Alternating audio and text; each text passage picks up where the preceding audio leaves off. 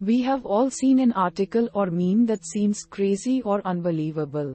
There is a lot of misinformation out there. It is possible that a claim or fact could be false or misleading. There are tools you can use to sort through misinformation and identify what is real and what is fake. Misinformation can be dangerous. You can help stop the spread of it by identifying it. So, we are going to watch about the how to spot misinformation online. Method 1 False or misleading articles. First is pause and be skeptical about new information. It's okay to be doubtful about information you are sharing.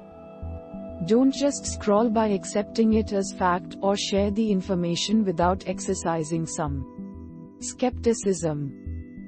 Step 2 Verify the source and date of the information. You can check image dates by doing a reverse image search on Google or Bing. The image metadata will also hint at when the image was created. Look up the information at the source to see if it was actually published there.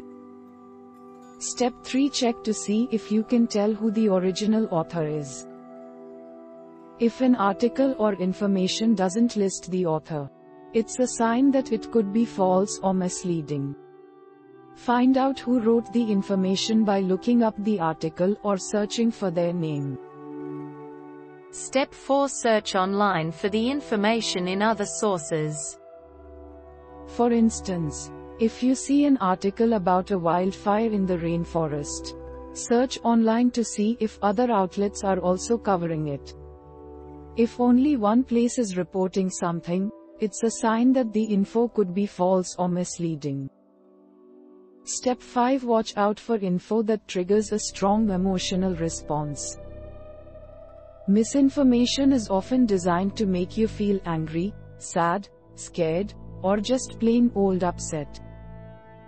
If you spot a claim, article, headline or any other info that causes you to feel a super strong emotion, be wary. It could be a sign that it. Finally, read the text for sensational language or loaded terms.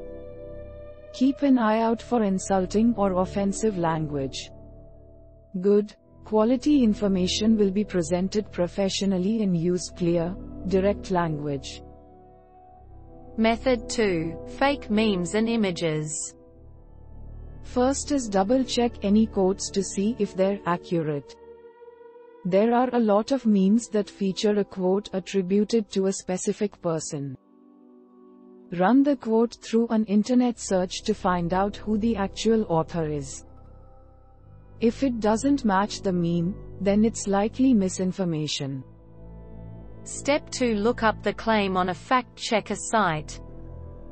Not every meme or claim that gets shared around on the internet and social media has been covered by a fact checking site. Read the description on the site to figure out if the claim is true or misleading. Step 3 Zoom into an image for hints about the actual location. Use clues in photos and images to help determine if the information claimed is accurate. Look for details such as the language on street signs, license plates on cars, flags in the background, or any other clues that tell you where the photo or image comes from. Finally, do a reverse image search to find out when it first appeared on the web. If an image is being circulated like it's new, then it's misinformation. Search engines like Google and Bing allow you to paste an image's URL. You may also be able to tell where the image originally came from. Method 3 Bots or fake accounts.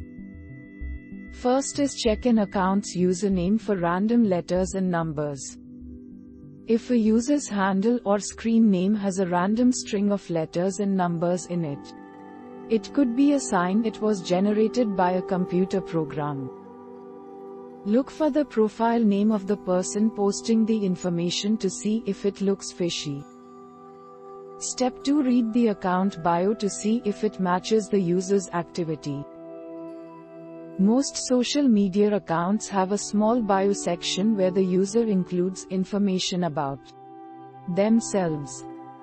Take a look at the bio to see if it matches the person and the content they're sharing. If it seems off, it could be a fake account.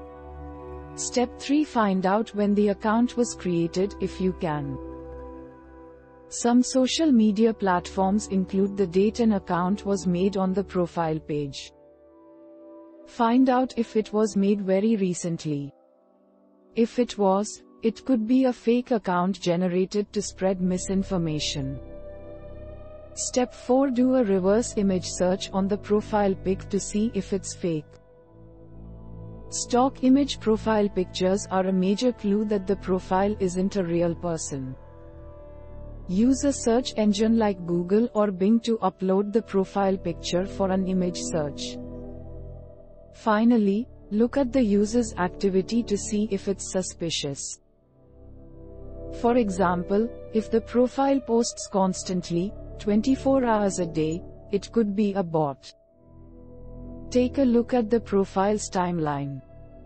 If they post at all hours of the day, posts from different parts of the world, and includes polarizing political content, it.